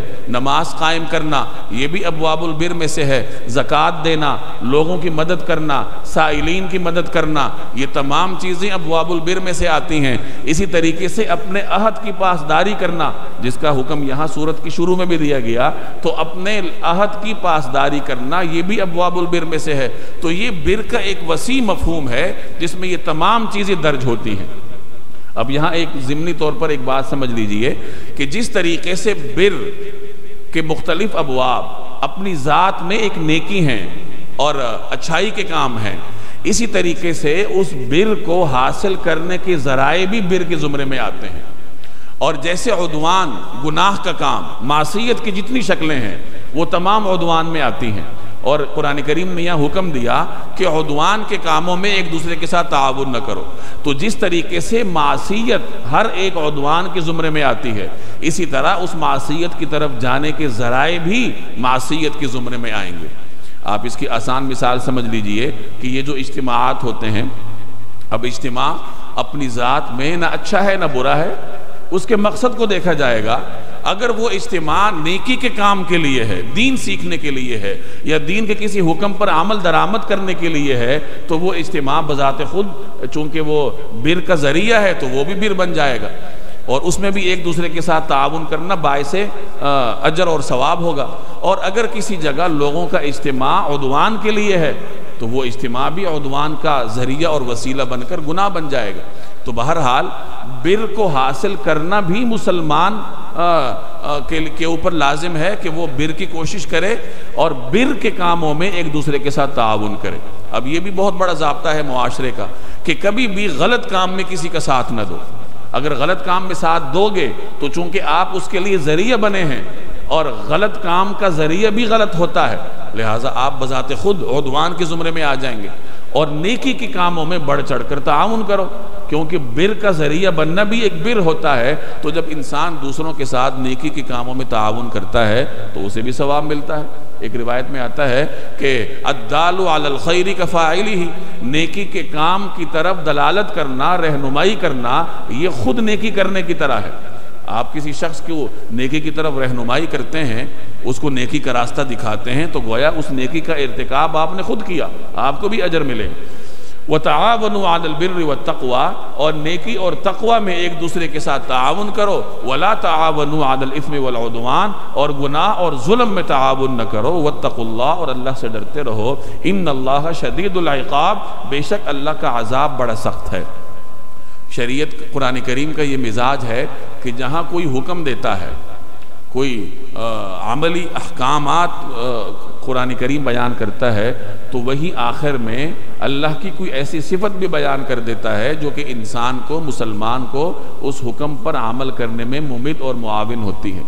शरीयत में तरगीब और तरहीब के साथ अहकाम को नाफिज करवाया जाता है। चुनाचे यहाँ हलाल और हराम के अहकाम का बयान है तो शदीदाब के ज़रिए मुसलमान को ये पैगाम दिया गया कि अगर इनकी पासदारी नहीं करोगे तो फिर अल्लाह जल्ल जलालू का अजाब भी बड़ा सख्त है, फिर उसके लिए तैयार हो जाओ। हुर्रिमत अलैकुमुलमैततु वद्दम वलहमुल खिंजीर वमा उहिल्ल लिगैरिल्लाहि बि वलमुनखनिकतु वलमौखूज़ा वलमुतरद्दियतु वन्नतीहा वमा अकल सबउ इल्ला मा ज़क्कैतुम वमा ज़ुबिहा अला नुसब व अन तस्तक़सिमू बिल अज़लाम ज़ालिकुम फ़िस्क़ अल यौम यइसल्लज़ीन कफ़रू मिन दीनिकुम फ़ला तख़शौहुम वख़शौन अल यौम अकमलतु लकुम दीनकुम व अतममतु अलैकुम निअमती व रज़ीतु लकुमुल इस्लाम दीना फमन इस्तुर्र फ़ी मखमसतिन गैर मुतजानिफिल लिइस्म फ़इन्न अल्लाह गफूरुर हुर्रिमत अलैकुम तुम पर हराम कर दिया गया अलमैतु वदम वलहमुल वमा उहिल्लगैरिल्लाहि मुर्दार जानवर खून सूर सुअर का गोश्त और वो जानवर जिस पर अल्लाह के सिवा किसी और का नाम पुकारा गया हो ये चारों चीज़ें तुम्हारे लिए हराम हैं अब आगे कुछ और भी चीज़ें हैं। वलमुनखनिकतु वलमऊकूदतु वलमुतरद्दियतु वन्नतीहतु और वो वो जानवर जो गला घुटने से मरा हो और वो जिसे चोट मारकर हलाक किया गया हो वल मुतरदियतु और वो जो ऊपर से गिर कर मरा हो वल नतीहतु और वो जानवर जिसे किसी जानवर ने सींग मारकर हलाक किया हो। वह माकल सब और वो जिसे किसी दरिंदे ने खा लिया हो। ये तमाम जानवर मुसलमान के लिए हराम है। इल्ला माजक्कई तुम सिवाय उसके कि तुम उसको ज़बह कर चुके हो। यानी कोई जानवर ऊपर से गिरा है, या किसी को दरिंदे ने खाया है, या किसी को दरिंदे ने सींग मारा है, और उसके मरने से पहले पहले तुम उसको ज़बह कर लो तो वो तुम्हारे लिए हलाल हो जाएगा। तो इल्ला माजा कई तुम ये पिछली फहरिस्त इस्तना है। इल्ला माजा कई तुम सिवाय उसके जिसको तुम ज़बह कर लो। इसमें जो मुर्दार है, खून है लहमुल खिंजीर व माहिल्ला ये चार तो हर हाल में हराम है। इनको तो ज़बह करना मुमकिन ही नहीं है। अलबत् आगे जो चार पाँच किस्म के जानवरों का बयान है, चूँकि इसमें ज़बह करने का इम्कान होता है, लिहाजा इस इसना का ताल्लुक अलमुनखनिका अलमखूज़ा अलमतरदिया अलनतीहा और माकल सबसे होगा कि इनको अगर तुम ज़बह करने में कामयाब हो जाओ, इनके मरने से पहले पहले फिर ये तुम्हारे लिए हलाल है। व माजुबिहा अलनसब और वो जिसे बुतों की कुर्बान गाह पर ज़बह किया गया हो। वह अंतस्तकसिम बिल अजलाम, और ये बात भी कि तुम जुए के तीरों से तकसीम करो। दालिकुम फ़िस्क, ये सारी बातें सख्त गुनाह की हैं। अलयम यईसल्लदीन कफ़रुमिन आज काफिर लोग तुम्हारे दीन के मगलूब होने से नाउमीद हो चुके हैं। फ़ला तख्शौहम लिहाजा उनसे मत डरो। वक्शौनी मेरा डर दिल में रखो। अलयम अकमल तो लकुम दीनकुम, आज मैंने तुम्हारे लिए तुम्हारा दीन मुकम्मल कर दिया। व अतमम तो आलकुम न्यामती, तुम पर अपनी नेमत पूरी कर दी। व रज़ी तो लकुमुल इस्लाम दीना, और तुम्हारे लिए इस्लाम को दीन के तौर पर पसंद कर लिया। फ़मन इस्तुर्रफ़ी मखमसतिन हाँ जो शख्स शदीद भूख के आलम में बिल्कुल मजबूर हो जाए, गैर मुतजानिफिल इसमिन, बशरते के गुनाह की रगबत की बिना पर ऐसा न किया हो। फ़िन अल्लाह गफ़ूररहीम तो बेशक अल्लाह बहुत मुआफ़ करने, बड़ा मेहरबान करने वाला है। बहुत मुआफ़ करने वाला और बड़ा मेहरबान है। अब इस आयत में भी हराम और हलाल की कुछ तफसीलात का बयान है। पहली आयत में आपने पढ़ा कि बहीमतुल अनाम को अल्लाह ने हलाल करार दिया। और उससे इल्ला युतला अलैकुम का इस्तना था कि बहीमतुल अनाम तुम्हारे लिए हलाल हैं। अलबत्ता, कुछ बहीमतुल अनाम तुम्हारे लिए हलाल नहीं है। वो जो तुम पर पड़े जाएँगे, जिनकी तुम्हारे सामने तिलावत की जाएगी। और वो तिलावत कहाँ की जा रही है? वो इस आयत में की जा रही है। अगर कोई बहीमतुल अनाम में से हलाल जानवर है, और वो मुर्दार हो गया, आप उसको ज़बह न कर सके, अपनी मौत आप मर गया तो ऐसा जानवर शरीयत ने मुसलमान के लिए हराम करार दिया, मुर्दार को किसी भी शक्ल में खाने की इजाज़त नहीं है। आगे लोग इसकी हमतें बयान करते हैं कि चूँकि मुर्दार का खून नहीं निकला होता, खून उसके जिसम में मुंजमद हो जाता है और वो मुख्तलिफ़ किस्म की बीमारियों का सबब बनता है। बहरहाल ये अहकाम शरीयत के मुख्तलिफ़ मसले होते हैं और हमारे लिए सिर्फ़ इतनी चीज़ काफ़ी होती है कि ये अल्लाह का हुक्म है। मैंने पहले भी अर्ज़ किया कि मुसलमान अल्लाह के हुक्म पे इसलिए अमल करता है कि वो अल्लाह का हुक्म है। उसके फ़वाद बाद की चीज़ें हैं। फ़वाद तो हासिल हो नहीं है। बुनियादी बात यह है कि ये अल्लाह का हुक्म है। अगर कोई आदमी शरीयत का कोई काम करता है, अल्लाह के हुक्म की इतात की नीयत से नहीं, उसके फ़ायदे की नीयत से तो उस काम के करने का उसे कोई फ़ायदा नहीं होगा। एक आदमी नमाज़ पढ़े वर्जिश के लिए, कि इससे वर्जिश होती है। जब आदमी सजदे में जाता है तो आँखों में खून का की गर्दिश होती है वगैरह वगैरह। अगर कोई आदमी इस नीयत से नमाज़ पढ़ता है, साहिब ईमान नहीं है। साहिब ईमान तो है, लेकिन नमाज़ से अल्लाह की इबादत मकसूद नहीं है। तो ऐसी नमाज़ उसे कोई फ़ायदा नहीं देगी। तो बहरहाल, अल्लाह के हुक्म पे अमल करना इस नीयत से कि वो अल्लाह का हुक्म है। फिर इंसान को उसका सवाब भी मिलता है और उसके दुनियावी फ़वाद भी हासिल होते हैं। तो फरमाया कि जो जानवर मुर्दार है, वो खाने की तुम्हें इजाज़त नहीं है। और दूसरी चीज़, व दम और खून। दम से मुराद अदमुल मसफूह है। यानी वो खून जो बहने वाला हो। जब जानवर ज़बा किया जाता है, उसके जिसम से जो खून निकलता है, बहने वाला खून, वो इंसान के लिए हराम है। उसको नहीं खाया जा सकता। अलबत्ता, जब गोश्त बनाया जाता है तो बाज़ों का थोड़ा बहुत गोश्त के साथ, थोड़ा बहुत खून गोश्त के साथ चिमटा हुआ रह जाता है तो उस उस खून को शरीयत ने हराम नहीं करार दिया, क्योंकि वो अदमुल मसफू नहीं है, वो बहने वाला खून नहीं है। वलहमुल खनजीर इसी तरीके से खनजीर का गोश्त, यहाँ सिर्फ़ खनजीर के गोश्त का ज़िक्र है, वरना खनजीर का जानवर पूरे का पूरा, वो मुसलमान के लिए हराम है। न उसके बालों से फ़ायदा उठाया जा सकता है, न उसकी खाल से फ़ायदा उठाया जा सकता है, और उसके जिसम के हड्डियों से अलगरज किसी भी चीज़ से, जिसका ताल्लुक़ खनजीर के जिसम के साथ हो, उससे फ़ायदा नहीं उठाया जा सकता। अब इसकी हिकमत भी ओलमा बयान फरमाते हैं कि खनजीर में फहाशी का उनसर पाया जाता है। कहा जाता है कि खनजीर वो वाद जानवर है जिसमें कई कई नर मिलकर मादा के साथ जिनसी अमल अंजाम देते हैं। और यही वजह है कि ये जानवर खाने वालों में ये कभी सिफत भी पाई जाती है। तो बहरहाल, चूँकि इसमें इस किस्म की कभी सिफात मौजूद हैं और इसका गोश्त खाने की वजह से इंसान के मिजाज में भी ये बुराइयाँ आ सकती थीं, इसलिए शरीयत ने इसको हराम करार दिया। तो बहरहाल खनजीर का गोश्त और खनजीर का जानवर या उसके तमाम अज़ा ये मुसलमान के लिए हराम है। वमा उहिल्ला भी और वो जानवर जिस पर अल्लाह के सिवा किसी और का नाम लिया गया हो। ओहिल्ला एहलाल से निकला है। एहलाल कहते हैं रफ़ सऊद आवाज़ को बुलंद करना। यानी बुलंद आवाज़ से कोई बात करना इसको एहलाल से ताबीर किया जाता है। जैसे तलबिया पढ़ने को भी, के लिए भी यही लफ्ज़ इस्तेमाल किया जाता है। तो बहरहाल हर वो जानवर जिस पर अल्लाह के सिवा किसी और का नाम लिया गया हो तो वो मुसलमान के लिए जायज़ नहीं है। होगा वो बहीमतुल अनाम में से, गाय होगी, बकरी होगी, हलाल जानवर होगा।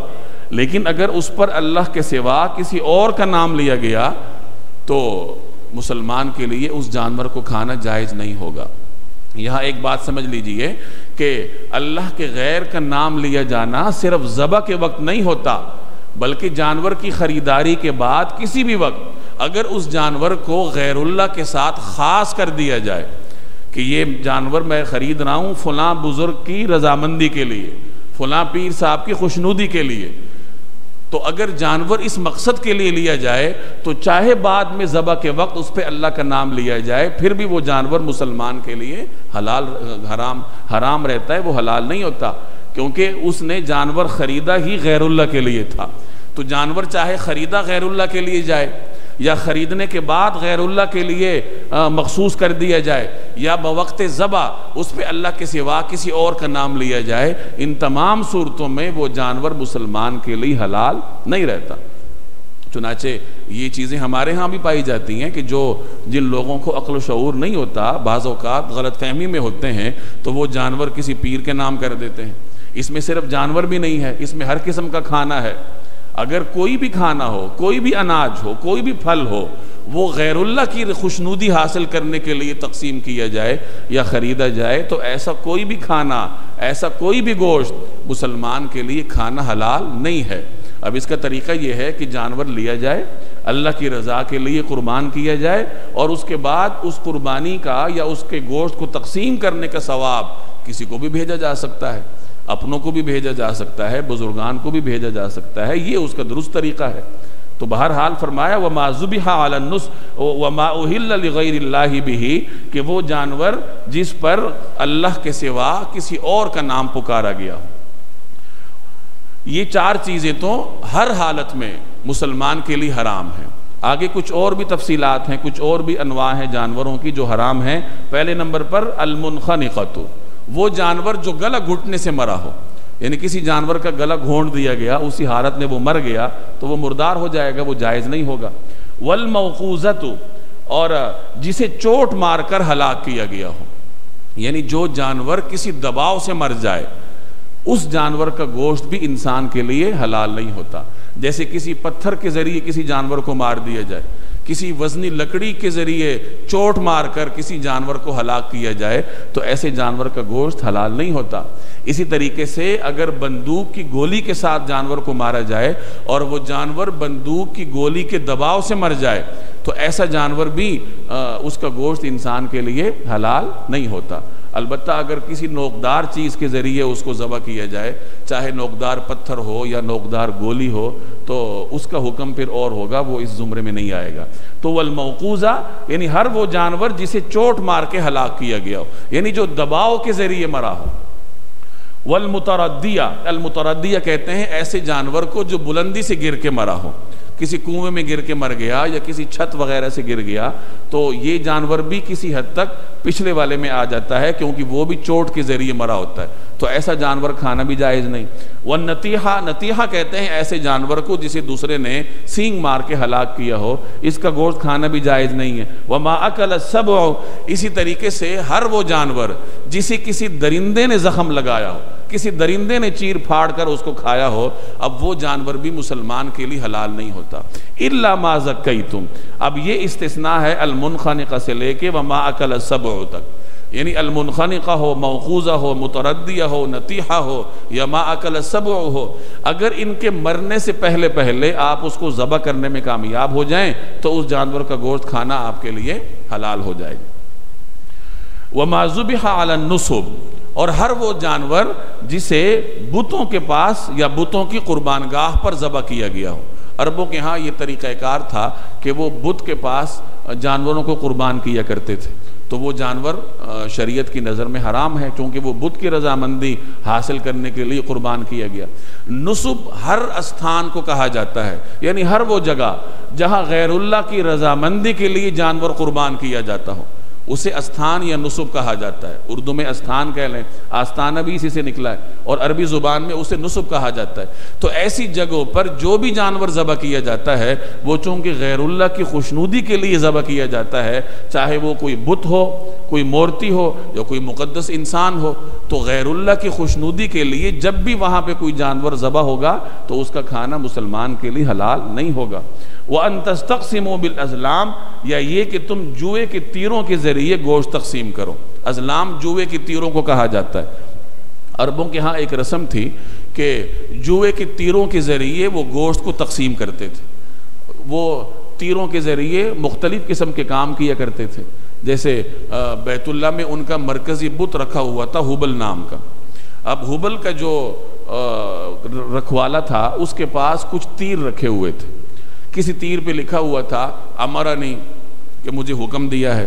किसी पे लिखा हुआ था, नहानी रब्बी, मुझे रब ने मना किया है। और कोई तीर ऐसा था जो खाली था। अब जब कोई आदमी किसी सफ़र के लिए निकलता या किसी भी मकसद से निकला करता तो वो वहाँ आता और उस मुताल शख्स से तीर तलब करता कि मुझे तीर दो। वो उसे तीर निकाल के दे देता। अब अगर उस तीर पे लिखा होता अमरा नहीं रब्बी, कि मेरे रब ने मुझे हुक्म दिया है तो वो शख्स ये समझता कि ये काम मेरे लिए मुझे करना चाहिए। चुनासी वो काम करता था। और अगर वो तीर निकल आता, जिस पे नहानी रब्बी निकला होता तो वो उस काम से रुक जाता कि ये काम मुझे नहीं करना चाहिए। और अगर वो तीर निकल आता, जो खाली होता तो वो फिर भी उसको बुरा शगुन समझता और उस काम से रुक जाता। इसी तरीके से उनके यहाँ ये भी रस्म थी कि वो कोई ऊँट ज़बह करते और फिर उसका गोश्त मुख्तलिफ़ तीरों के ज़रिए तकसीम करते थे।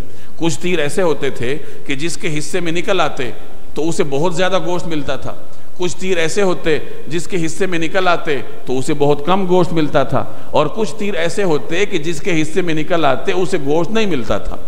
तो बहरहाल ये भी एक गैर मुनसिफाना तकसीम थी कि मुख्तलिफ़ शुरा में से कुछ शुरा ऐसे हों जो सारा गोश्त ले जाएँ तो शरीयत ने इसको नाजायज़ करार दिया।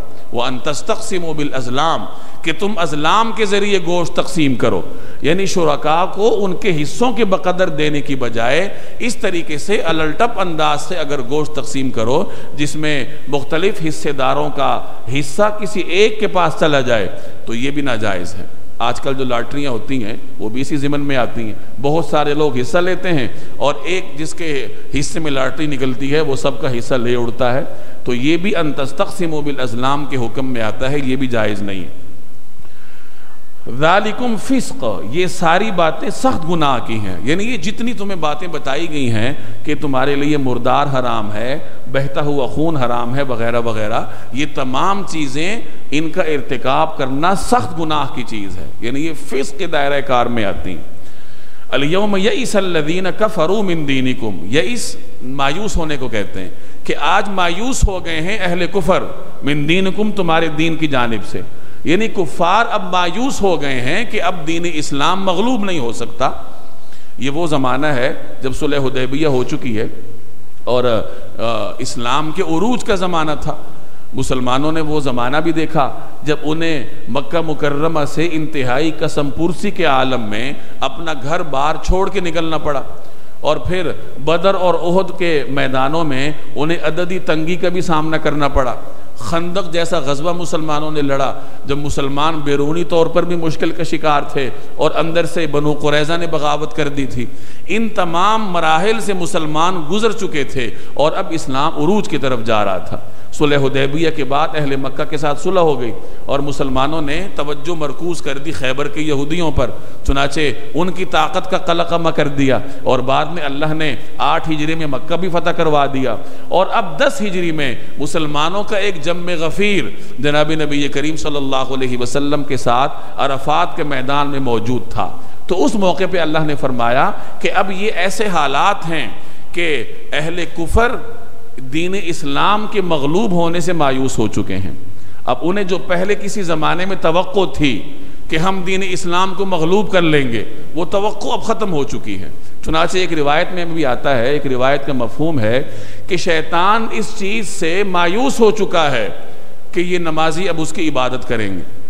यानी मुसलमान अब शैतान की पैरवी करेंगे, उसकी इबादत करेंगे, इससे वो मायूस हो चुका है। अलबत् एक उम्मीद उसको बाकी है कि वो मुसलमानों को भड़का के उनके दरमियान फसादात करवा सकता है।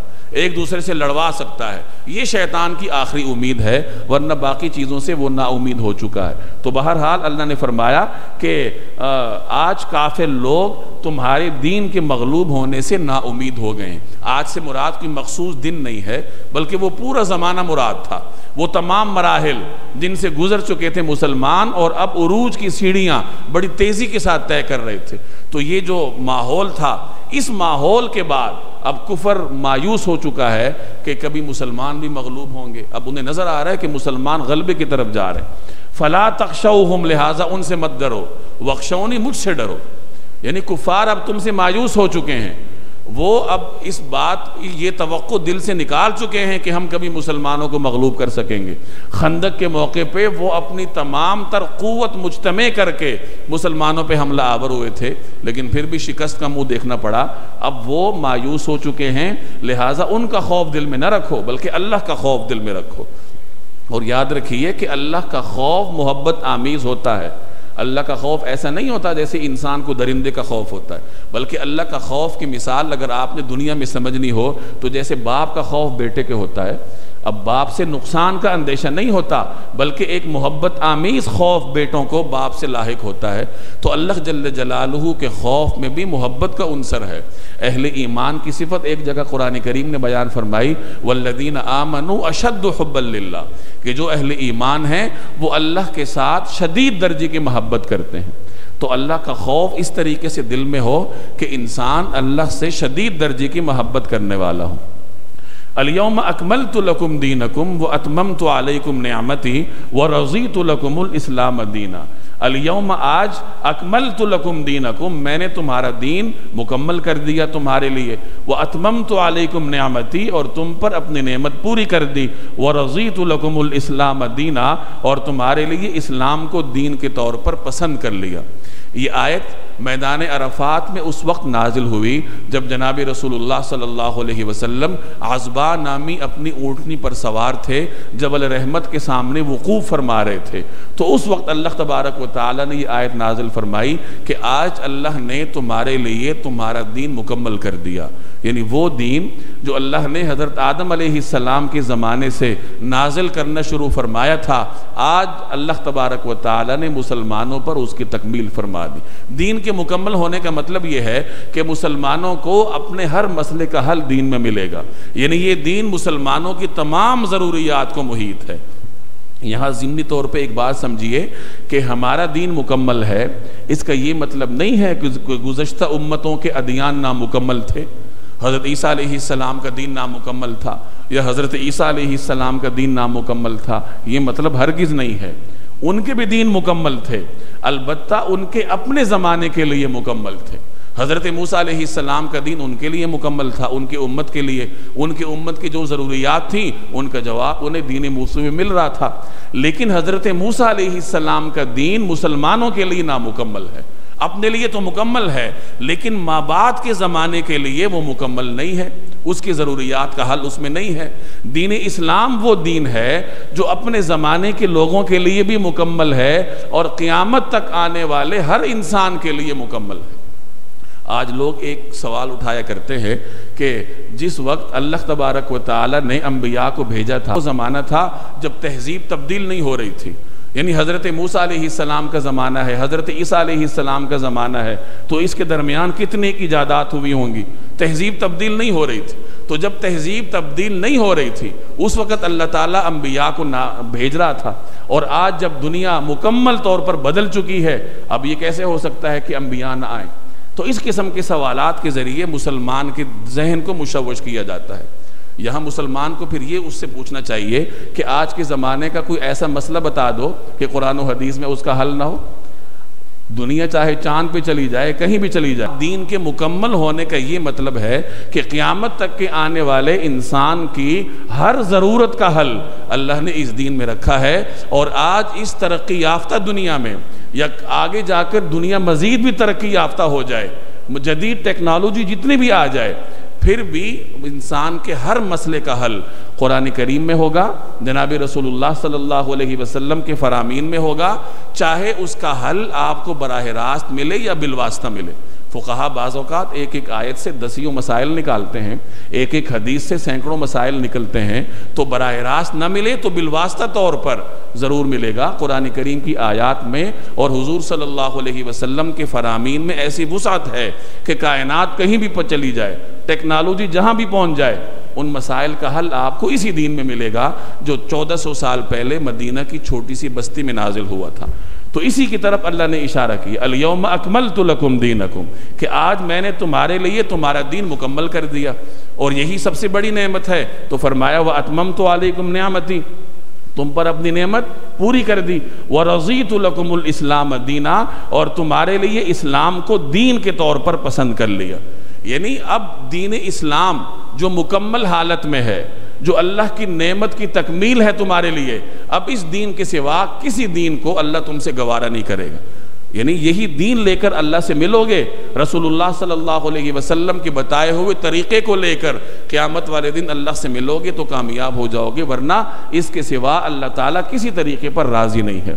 फ़मन इस्तुर्रफ़ी मखमसतिन गैर मुतजानफ़िल इस्तरार कहते हैं हंगामी हालत को। मखमसा कहते हैं भूख यानी जब भूख इतनी शदीद हो जाए कि इंसान इसतरारी हालत में चला जाए तो फिर शरीयत इंसान को अहकाम में लचक देती है। ये इस्लाम के आ, का मिजाज है। और चूँकि ये अब तक ये दीन रहेगा तो अल्लाह ने मुसलमानों को ऐसे उसूल बताए हैं कि उन उसूलों से काम लेकर वो हर आने वाले ज़माने में अपने लिए उन मसाइल का हल तलाश कर सकते हैं। अब ये पीछे अल्लाह ने हराम जानवरों की फहरिस्त बताई कि मैता है और ये तमाम चीज़ें हैं, ये इंसान के लिए जायज़ नहीं है। अब यहाँ इस हुक्म से इस्तना बताया कि अगर कोई आदमी भूख में इतना यानी इतनी शदीद भूख का शिकार हो कि वो इसतरारी हालत में चला जाए और इसरारी हालत की तारीफ़ व कहा ये करते हैं कि उस आदमी को यकीन हो जाए कि अगर ये हराम चीज़ मैं नहीं खाऊँगा तो मेरी मौत वाक़ हो जाएगी। मुझे यकीनी तौर पर नुकसान पहुंचेगा। तो जो आदमी इस कैफियत का शिकार हो तो उसके लिए फिर हराम में से कुछ लेना जायज़ हो जाता है। लेकिन हराम में से कितनी मकदार ले? उतनी मकदार ले जितनी मकदार से उसकी सांस और रूह का ताल्लुक। उसके सांस और जिसम का ताल्लुक बरकरार रहे। ये नहीं कि बैठ जाए और डट कर मुर्दार खाए, बल्कि चंद लुक में खाए ताकि उसका उसकी जो साँसें हैं वो चलती रहे और वो कोई लुत्फ लेने वाला ना हो, लज्जत की नीयत से न खाए। ये सारी चीज़ें अल्लाह ने यहाँ बयान की। फ़मन इस्तुर्रफ़ी मखमसतिन, जो शख्स शदीद भूख के आलम ने बिल्कुल मजबूर हो जाए तो उसके लिए फिर इन अहकाम में रुख्सत है। लेकिन शर्त क्या है? गैर मुतजान फिल इसमिन, बशरते के गुनाह की रगबत की बिना पर ऐसा न कर रहा हो इसम गुनाह को कहते हैं मुतजानिब कहते हैं, रगबत रखने वाला। यानी उसे उस हराम में अपनी ज़ाती रगबत ना हो, बल्कि मजबूरी की वजह से ऐसा कर रहा हो और बकदर मजबूरी कर रहा हो तो फिर क्या है? फ़ैन अल्लाह गफ़ूररहीम फिर अल्लाह जल्ल जलालू बहुत मुआफ़ करने वाला, बड़ा मेहरबान है। यानी किया उसने गुनाह का काम है। लेकिन चूँकि बमर मजबूरी और बकदर मजबूरी उसने किया है तो अल्लाह जल्ल जलालू उसके इस फेल को मुआफ़ फरमा देगा।